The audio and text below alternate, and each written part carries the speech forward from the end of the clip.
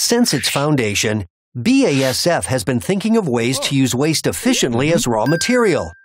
That's why even today, our factory plants circulate byproducts using the Verbund principle. What's not needed here goes in there, and so on. All this is part of BASF's circular economy. Our goal is keeping products and materials at their highest value at all time. For our products, we realize that using two methods. First, the keep it smart approach, meaning we constantly look for techniques to decrease our customers' material use but keep function and durability steady. Our additives for concrete, for example, make it possible to build with less material but same stability. This saves much from the start. Furthermore, we think of customer solutions to close the loops and re-enter waste back into product life cycles.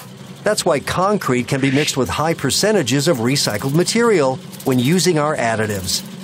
In thinking circular regarding production and products, BASF brings the circular economy forward, and with our customers, entirely new solutions can be created.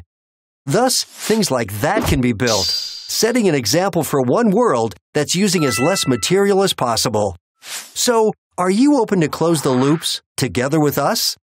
BASF, we create chemistry.